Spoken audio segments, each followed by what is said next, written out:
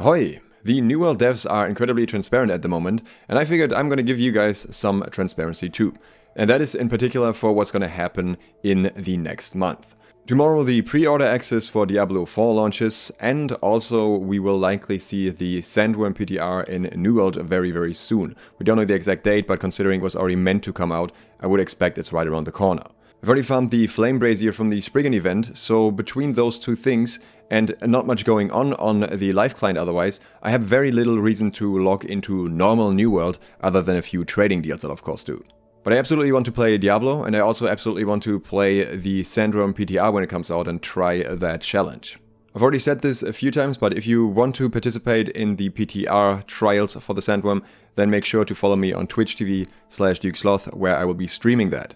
And that is also where I generally be spending a lot of the month. That's my plan for now. I think I'm going to be streaming a lot of Diablo, and I'm going to be streaming New World PTR whenever it's up, and fit that in between. And ideally, my plan is to make videos about both as well.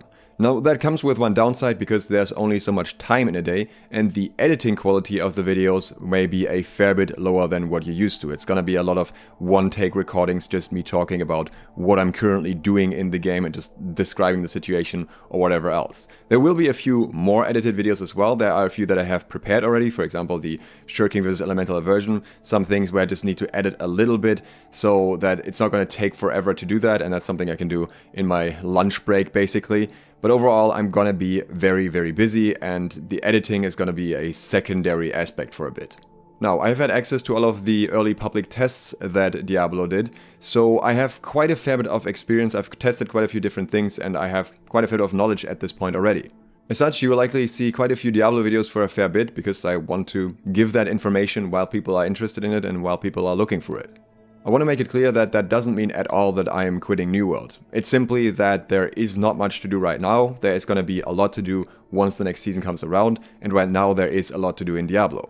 I also suspect that the Diablo hype will die down significantly a month down the road because I think a lot of people will mainly play for the main story and once they're through with that, they won't care all that much about it. We'll have to see if this prediction comes true, but either way, I think I'm gonna focus on it for this month and then afterwards I just reevaluate how much interest there still is for Diablo, how much I'm still interested in it, and how good the changes are that are coming to New World. So overall, my current estimation is Diablo for a month with some New World sprinkled in between, some of the stuff that I want to talk about, and especially the stuff that comes with the PTR. And then afterwards, we're likely going back to more New World and maybe a little bit of Diablo, unless things have drastically changed by then in some way. For now, I'm essentially looking at this as a New World vacation, which I think is a good idea from time to time. I think it's worth taking a break from a game that you grind a lot and just getting a bit of a different perspective, getting something else to do for a while, and then coming back to it with a fresh mindset. Again, a lot of the action will be over on Twitch TV slash DukeSloth, link is down in the description. I hope you understand this approach that I'm taking here, I hope this is something that is suitable for most of you, and I hope to see you for the next videos of course. Thanks to my patrons for supporting this video. I will of course still be posting trading tips there whenever anything comes up from the PTR. And thank you for watching. DukeSloth, out.